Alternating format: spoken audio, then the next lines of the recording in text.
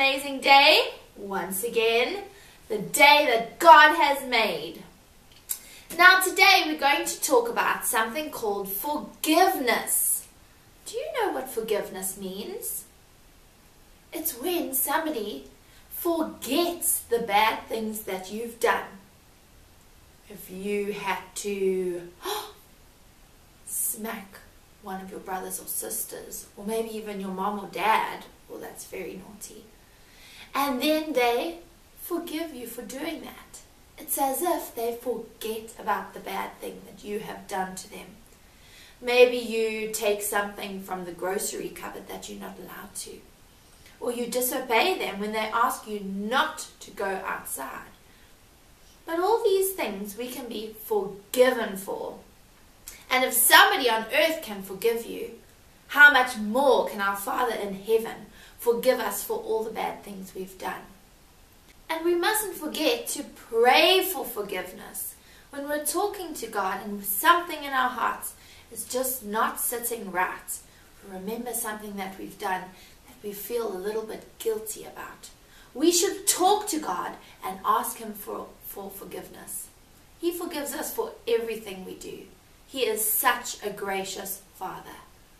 Now, to remind us about forgiveness and how much power there is by God forgiving us, I want you to go and fetch a piece of paper and something to write with. The piece of paper doesn't have to be orange, it can be any color. Right, go and fetch one and then come back to the video. Okay, have you got one? Right. So we're going to fold our piece of paper to make a house. Take one corner and fold it down. You might have to ask your mom or dad to help you with this part. Press it so that it's forming a nice little point. Have you got that? Let's try it again. Fold it down to make a point. There we go. Now you're going to take this pointy end and you're going to fold it over to its little side here to make our roof. And then just press that side like that. Have you got it? Now we've made our house. Now when we are at our house, everybody's house looks different. Maybe your roof doesn't look exactly like this but it's just a reminder about our home. There are things that we do at home that aren't pleasing to God. Sins. What are sins? Bad things that we've done. So take your pen or whatever you have to write with, and I want you to write these things on the roof. So maybe you uh, disobeyed your mom when she asked you to do something or not do something. Maybe you lied. Hmm? That's not a good one. Lying. Maybe uh, you were hurtful to your brother or sister. Maybe you said a bad word. Oh dear, bad words. Are you writing all of these down? Sure some of you have done some of these bad things. Okay, I'm going to give you just a few seconds to maybe think of some more and write them down on your roof.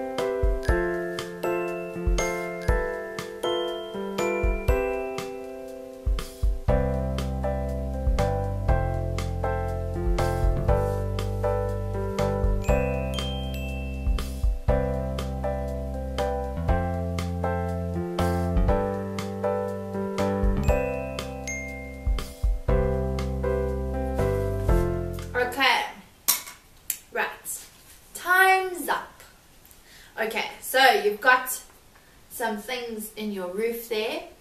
But now, do you know what happens? When we ask God for forgiveness hmm, and we start pointing towards Him, hmm, take this out of your paper and we are going to tear, I will show you now, tear off our house to make an arrow towards Jesus. And on the other side, tear off to make a point pointing to Jesus. Can you do that? Give you a few more seconds.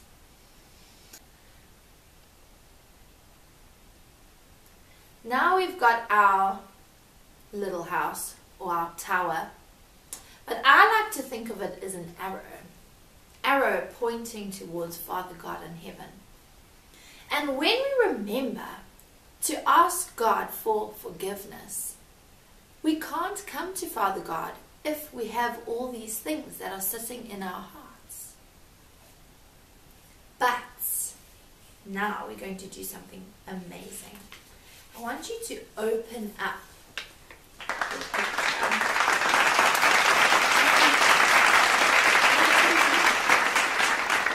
Ta-da! It reminds us of the cross. Jesus has paid the price for our sins.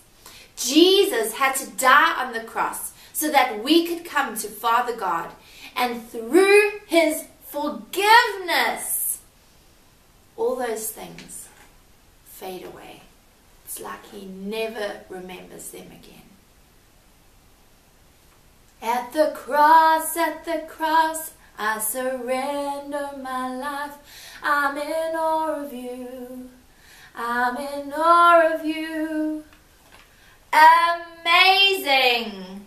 The cross of Jesus. Now, boys and girls, we're going to pray together. And we're going to remember the cross. Because that is how we are forgiven. Jesus has paid the price for all these sins. Close your eyes. Father God, we come to you today and ask for forgiveness. Forgiveness because of the cross that Jesus died on. Thank you, Jesus, for paying the price for our sins. We ask for your forgiveness and we ask that you don't remember them anymore. Thank you for making our hearts pure and that we can come to the Father with open arms. Amen.